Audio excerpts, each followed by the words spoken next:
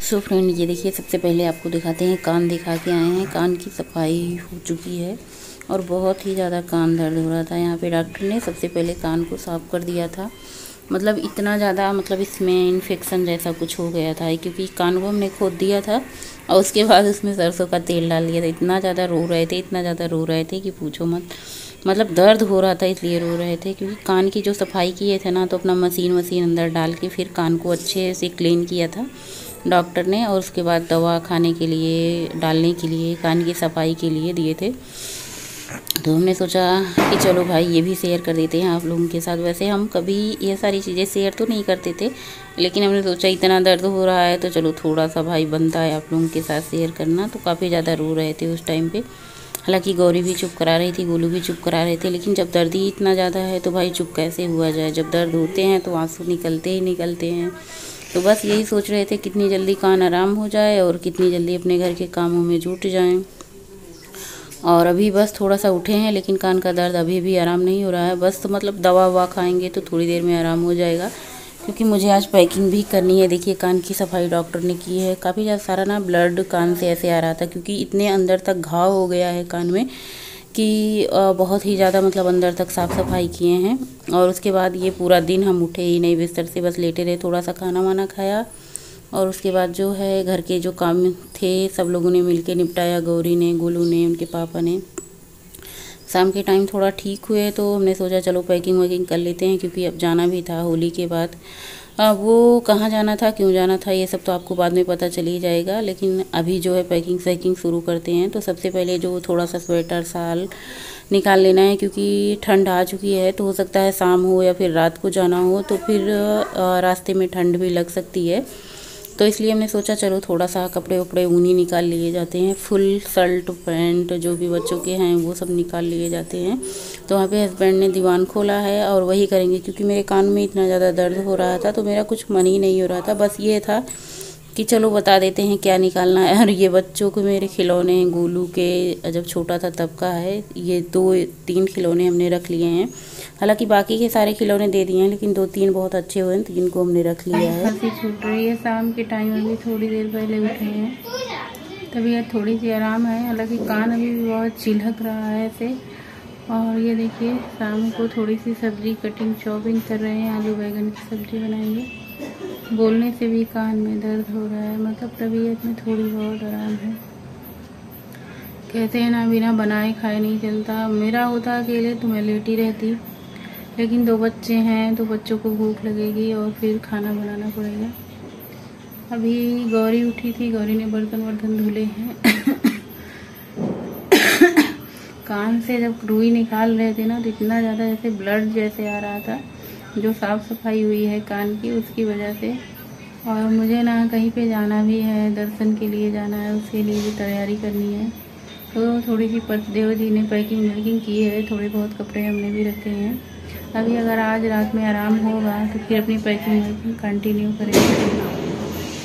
वैसे blog shoot नहीं करना चाहते थे मतलब सुबह दोपहर में रो रहे थे ना। तो मैंने सोचा कि कभी कभी वैसे आप लोगों के सामने हम हँसते हुए आते हैं, लेकिन कभी कभी क्या होता है ना, बहुत ही कम ऐसा होता है जब रोते हैं, लेकिन इतना ज़्यादा दर्द चार दिनों से, पाँच दिनों से था कि बर्दाश्त करते करते एक हद सी हो गई थी। मतलब इतना भयंकर, अगर हम चार दिन, तीन दिन और नहीं जाते ना तो कान का जो हाल होता तो शायद हम नहीं बता सकते। अच्छा किया हमने, आज जाके दिखा लिया। कोई भी बीमारी हो ना तो टालते रहते हैं, आज चलेंगे, कल चलेंगे। मेरी ही नहीं, हम सभी लेडीज़ की आदत होती है, ये सोचते हैं ठीक हो जाएगा।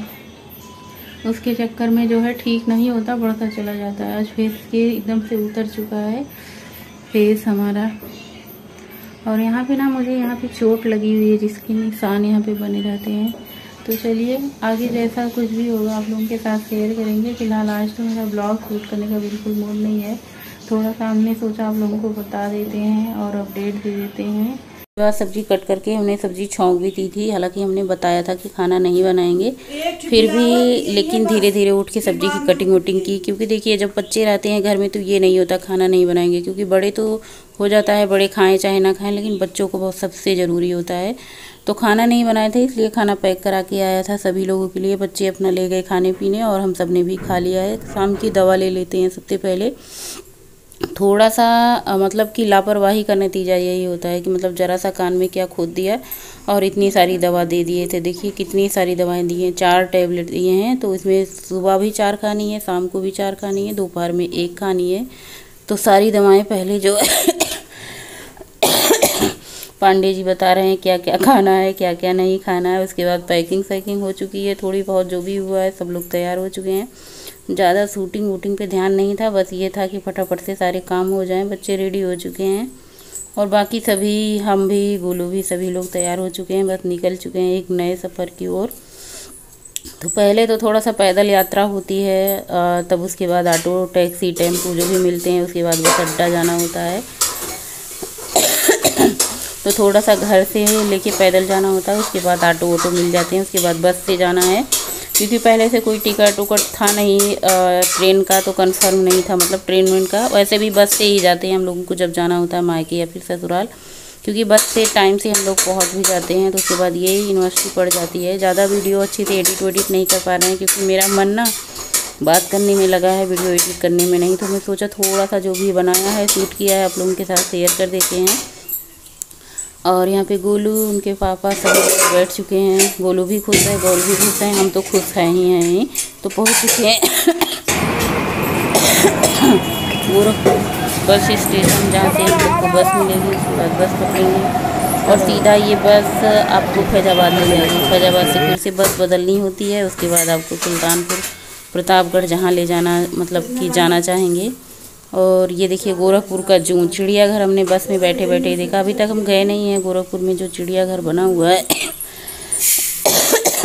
कभी गए नहीं हैं, लेकिन आज आते समय बाहर बाहर से देखा। बहुत ही सुंदर था तो मैं सोचा आप लोगों को दिखा देते हैं।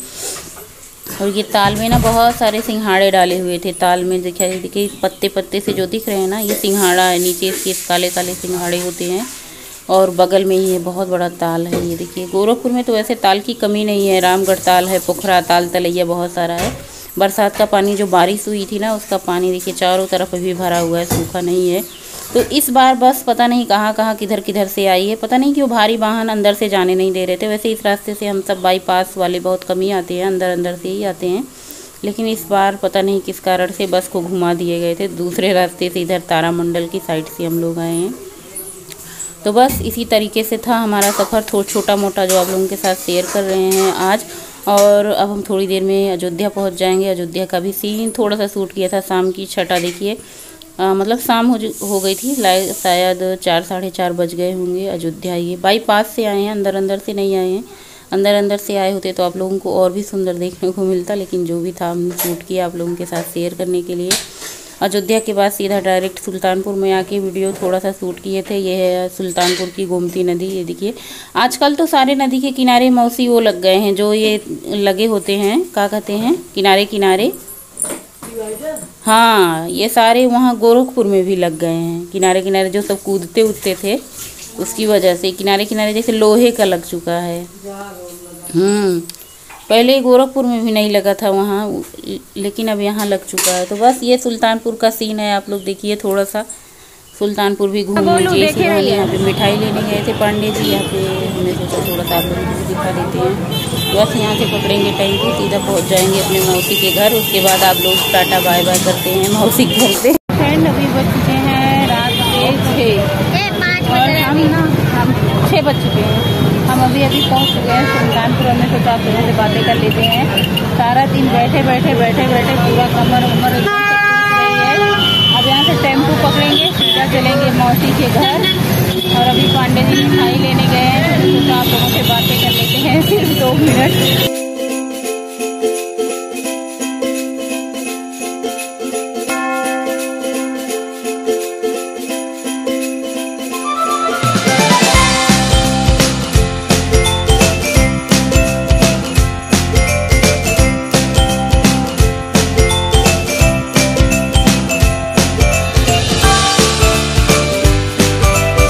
थोड़ी सी पैदल यहाँ पे भी चलना होता है उतरने के बाद। उसके बाद आए तो फिर कुछ वीडियो शूट ही नहीं हुआ। मतलब बस खाना पीना हुआ, सब सो गए, दवा हुआ खाई। और देखिए आँख तो ऐसे लग रहा है कि जैसे बहुत दूर से यात्रा करके आए हैं। थकी थकी सी अभी सुबह के साढ़े सात बज रहे हैं और हम सब बिस्तर में दुबके हुए हैं। हालाँकि गोरखपुर में चार बजे ही उठना हो जाता है। एक बार उठे भी थे, फिर से लेट गए, सबको देखा, सब सोए थे। तो हम भी अपना चुपचाप लेट गए। तो फ्रेंड अभी बज रहे हैं सुबह के आठ और आज के इस ब्लॉग का यहीं पेंड करेंगे क्योंकि आप लोगों को पता ही है, मायके आए हैं। तो सबसे मिलना मिलाना हो रहा है। और तबीयत भी ज़्यादा ठीक नहीं है क्योंकि यहाँ पे आने के बाद ना ब्लॉग शूट करने का बिल्कुल भी मन नहीं हो रहा है। तो थोड़ा बहुत जो आप लोगों के साथ रास्ते का, थोड़ा बहुत यहाँ का सूट किया है, वही आप लोगों के साथ शेयर करेंगे। आज के ब्लॉग को यहीं पेंड करेंगे। मिलेंगे आप लोगों को अगले ब्लॉग में। तब तक के लिए बाय शुभ प्रभात